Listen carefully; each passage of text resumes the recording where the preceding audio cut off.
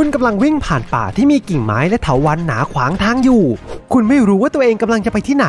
แต่คุณรู้สึกเหมือนควบคุมการเคลื่อนไหวของคุณไม่ได้ คุณเห็นก้อนหินขนาดใหญ่ตรงหน้า คุณไม่สามารถหยุดวิ่งได้ คุณกำลังจะชนมัน ทันใดนั้นเองวุฟคุณลอยขึ้นไปในอากาศด้วยความเร็วที่เหลือเชื่อ ด้านล่างคุณเป็นหุบเขาสูงชันที่มีหินแหลมคมและแม่น้ำไหลเชี่ยว คุณกลั้นหายใจโดยหวังว่าทั้งหมดนี้เป็นแค่ความฝัน แต่แล้ว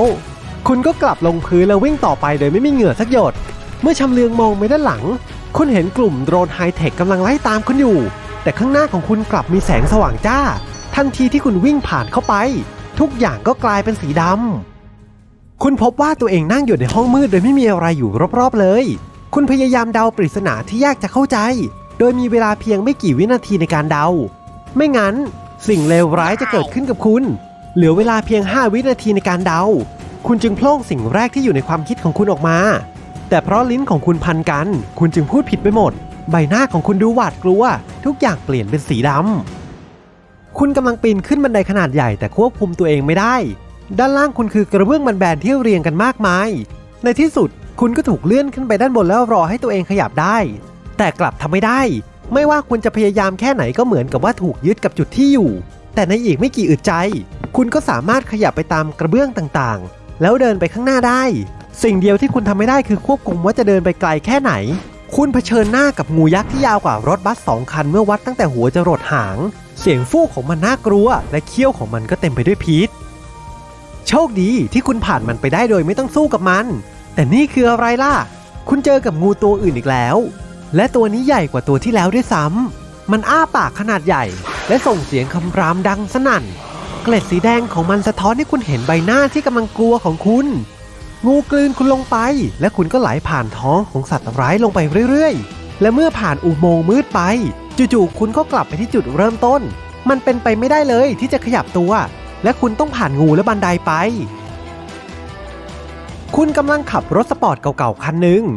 มันช่างเป็นวันที่ดีในลอนดอน คุณผ่านจัตุรัสทราฟัลการ์ก่อนที่จะขึ้นรถไฟที่สถานีคิงครอส แต่ทันใดนั้นคุณก็ไม่ร้อนอีกต่อไปแล้ว ทันทีที่คุณเข้าสู่ย่านหรูหราในลอนดอน คุณดูบัญชีธนาคารของคุณ ซึ่งมันไม่สมเหตุสมผลเลย การเงินทั้งหมดของคุณกำลังตกต่ำลง คุณจะต้องจ่ายเงินมากมาย ซึ่งเป็นไปไม่ได้ที่จะพอค่าเช่า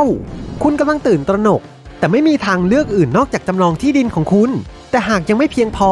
คุณต้องขายบ้านและโรงแรมบางส่วนเพื่อเป็นเงินค่าเช่า การทำงานหนักทั้งหมดของคุณจะหายวับไปในพริบตา แล้วเรื่องของความอดทนและประสบการณ์ที่สั่งสมมาล่ะ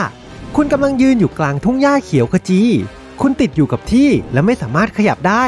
ผู้คนที่อยู่รอบตัวของคุณก็ติดอยู่กับที่ของตัวเองเหมือนกัน ทันใดนั้นก็มีบางคนขยับไป 2 จุดด้านหน้าพวกเขา และทันใดนั้น คุณก็ตระหนักได้ว่าทุกคนรอบตัวของคุณมีการเคลื่อนไหวที่เฉพาะเจาะจง บางคนเคลื่อนที่ตามแนวทะแยงมุม บางคนเคลื่อนที่ไปข้างหน้าหรือด้านข้าง บางคนสามารถเคลื่อนที่เป็นรูปตัว L เมื่อทุกคนเคลื่อนไหว คุณตระหนักได้ว่า คุณเป็นคนเดียวที่สามารถเคลื่อนที่ไปยังด้านข้าง ด้านหน้าหรือแม้แต่ถอยหลังได้ ที่เจ๋งที่สุดคือคุณเคลื่อนที่ได้อย่างไม่จำกัดระยะ แต่มันมีภัยอันตรายซ่อนอยู่ทั่วเลย โดยแฝงตัวเป็นตำแหน่งที่ไม่มีพิษมีภัย และก่อนที่คุณจะรู้ตัว คุณก็เป็นหนึ่งในไม่กี่คนที่ยังยืนหยัดอยู่ ส่วนคนอื่นๆ ก็หายไปหมดแล้วพระอาทิตย์ตกดินแล้วทุ่งก็ดูโล่งกว่าเดิม ตอนนี้คุณเป็นหนึ่งในองค์ประกอบหลักในการนำไปสู่ชัยชนะ ขณะที่คุณกำลังดำเนินการต่อ คนรอบข้างก็จำนวนน้อยลงเรื่อยๆ แต่คุณก็ยังอยู่ในตำแหน่งที่พร้อมสำหรับชัยชนะแล้ว และมันก็คือรุกคาด คุณกำลังประมาทและใจหายอย่างหนักหน่วง มันมีการก่ออาชญากรรมในห้องสมุด หรืออาจจะไม่ก็ได้ ใครจะรู้ แต่คุณเป็นหนึ่งในนักสืบที่อยู่ในที่เกิดเหตุ ซึ่งพยายามหาว่าอะไรเกิดขึ้น สิ่งที่คุณรู้ก็คือ มันเกิดขึ้นภายในคฤหาสน์และคุณต้องเปิดเผยว่าใครเป็นคนก่ออาชญากรรมด้วยเครื่องมืออะไร และผู้กระทำผิดก่อเหตุที่ไหนค่ำคืนนี้ยังอีกยาวไกล บาะแสนั้นกระจัดกระจายไปทั่ว และแทบจะไม่มีเวลาเลย มีนักสืบคนอื่นๆ ที่พยายามไขคดีอยู่ด้วย แต่คุณต้องเร็วกว่านี้ คุณตรวจสอบทุกซอกทุกมุมเพื่อพยายามหาข้อสรุป ทั้งหาใต้โคมไฟทุกดวง ระหว่างม่าน ทุกรอยแตกบนผนัง แต่ก็ไม่มีอะไรเลย ไม่มีจริงๆ คุณเดินไปดูทุกๆ ห้อง แต่ก็มีบางอย่างที่น่าสนใจในห้องอาหาร คุณดูที่นั่นแล้ว แต่ไม่ได้ใส่ใจรายละเอียดมากนัก และคุณก็อาจพบเบาะแสแรกในการไขปริศนาก็ได้ หลังจากค้นหาเพิ่มเติม คุณสามารถระบุได้ว่าคุณเจอเครื่องมือที่ใช้ในการก่ออาชญากรรมแล้ว และในเวลาไม่นาน คุณก็พบว่าผู้ร้ายก่อเหตุที่ไหน คุณจัดงานแถลงข่าวทันทีที่คุณมั่นใจในข้อสรุปของตัวเอง ทุกคนรอดูสิ่งที่อยู่ในคำแถลง และคุณทำให้พวกเขาพึงพอใจด้วยการวิเคราะห์ของคุณ ผู้กระทำความผิดอยู่ในห้องตลอดเวลา คุณปิดคดีและรับการเลื่อนขั้นอย่างที่คุณต้องการมาตลอด แต่ก็ยังมีอีกหลายคดีที่ต้องแก้ซึ่งมีความท้าทายไม่แพ้กัน ลองจินตนาการว่าตื่นมาแล้วไม่รู้วิธีพูดดูสิ คุณเริ่มต้นวันใหม่ด้วยการแปรงฟันและแต่งตัว แต่ทันทีที่คุณต้องการออกจากอพาร์ตเมนต์ก็ดูเหมือนว่าจะขยับตัวไม่ได้ซะงั้น ประหนึ่งมีบางอย่างที่มองไม่เห็นขวางทางคุณอยู่ คุณมองไปที่มือของคุณ และเห็นตัวอักษรแบบสุ่มเจ็ดตัวโผล่ขึ้นมา ตามด้วยข้อความที่ปรากฏขึ้นมาว่าคุณต้องสร้างคำเพื่อออกไปจากที่นี่ ดังนั้นคุณจึงพยายามหาคำที่ฉลาดที่สุดที่คุณคิดได้ แต่แน่นอนว่าไม่มีการโกงนะ คุณสามารถลืมเกี่ยวกับพจนานุกรมไปได้เลย หลังจากคิดคำออก คุณสามารถออกไปข้างนอกและใช้ชีวิตต่อไปได้ แต่คุณไม่สามารถเข้าไปในรถของคุณได้นี่สิบางอย่างที่มองไม่เห็นกำลังขวางรถของคุณอีกแล้ว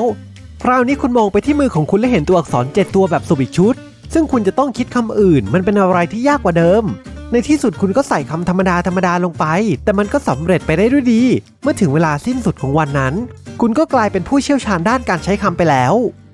คุณตื่นขึ้นมาในห้องมืดที่อับชื้น อากาศเย็นเยือกเพราะมีตะไคร่น้ำกระจายอยู่ตามพื้นที่ปูด้วยหิน เมื่อคุณลุกขึ้นคุณตระหนักได้ว่าคุณกำลังสวมชุดกรอดในยุคกลางอยู่ คุณเป็นพ่อมดพิเศษที่มีหมวกพ่อมดสุดเจ๋ง คุณเจอคบไฟอยู่ไกลๆที่ให้แสงสว่างแก่ห้อง และในที่สุด คุณก็รู้ว่าตัวเองอยู่ในคุกใต้ดิน มันมีหมอกหนาจนคุณไม่สามารถมองเห็นได้ไกลกว่าระยะ 2-3 ฟุต คุณเสี่ยงเดินไปกระทั่งได้ยินเสียงจากด้านบนพูดกับคุณ เกมเริ่มแล้ว คุณจะได้ออกจากคุกใต้ดินนี้ โดยหลีกเลี่ยงอุปสรรคทั้งหมดที่อยู่ในเส้นทางของคุณ คุณมีพรสวรรค์ในการร่ายเวทมากมายที่ช่วยคุณได้ แต่เตือนไว้ก่อนว่าเวทมนต์ของคุณมีจำกัด และศัตรูของคุณก็มีมากมาย ก็นะ มันน่าขนลุกจัง คุณมองไปรอบๆ และไม่เห็นใครเลย คุณมีคาถาพ่อมดของตัวเอง และเดินลึกเข้าไปในคุกใต้ดิน ทันใดนั้น คุณเจอเข้ากับสิ่งมีชีวิตตาเดียวที่มีเมือกไหลลงมาที่หัวของมัน มันมีแปดหนวดและคำรามอย่างดุร้าย คุณต้องคิดให้ออกว่าจะผ่านสิ่งมีชีวิตนี้ไปได้อย่างไร คุณเห็นคาถาของคุณที่ไม่รู้ว่ามาจากไหนอยู่ตรงหน้า และด้วยการเลือกเวทที่ดี คุณรู้ว่าจุดอ่อนของสิ่งมีชีวิตนี้คืออะไร คุณร่ายเวทสายฟ้าที่สร้างความเจ็บปวดได้บ้างกับมันทำให้มันมุดเข้าไปในเงามืดและหายไป คุณเดินทางลึกเข้าไปในคุกใต้ดินอันมืดมิด และข้ามเส้นทางที่มีพื้นลาวาและหนามแหลมคม แต่มันเป็นเรื่องดีที่คุณมีโล่เวทมนต์ที่ปกป้องคุณจากอันตรายรอบข้างได้ หลังจากเอาชนะสิ่งมีชีวิตนับไม่ถ้วน คุณเห็นแสงสว่างที่ปลายอุโมงค์และออกจากคุกใต้ดินได้ คุณพบว่าตัวเองอยู่ในป่าหน้าหลงไหล ซึ่งมีต้นไม้เขียวชอุ่มและแม่น้ำลึกลับ มีนางฟ้าตัวน้อยๆบินวนอยู่รอบๆคุณ แถมพวกเขาค่อนข้างเป็นมิตรด้วย แต่เมื่อคุณเดินลึกเข้าไปในป่า ทุกอย่างก็เริ่มเปลี่ยนไป ต้นไม้นั้นแห้งแล้งและพื้นดินดูเหมือนจะไม่เกรียม นั่นหมายถึงสิ่งเดียวเท่านั้น มีมังกรอยู่ใกล้ๆนี่เอง แต่นั่นก็ไม่ใช่ปัญหา คุณไต่เลเวลได้สูงพอที่จะเผชิญหน้ากับมัน คุณมาถึงปากถ้ำขนาดใหญ่ที่มีมังกรหลับอยู่ แต่ก่อนที่คุณจะรู้ตัว มังกรก็ตื่นขึ้นมาและบินขึ้นไปในอากาศ โดยหายใจเป็นไฟรดต้นไม้และพื้นดิน คุณไร่มนเรียกพันธมิตรออกมาช่วย และด้วยเวทมนต์มากมาย ในที่สุดคุณก็เอาชนะมังกรได้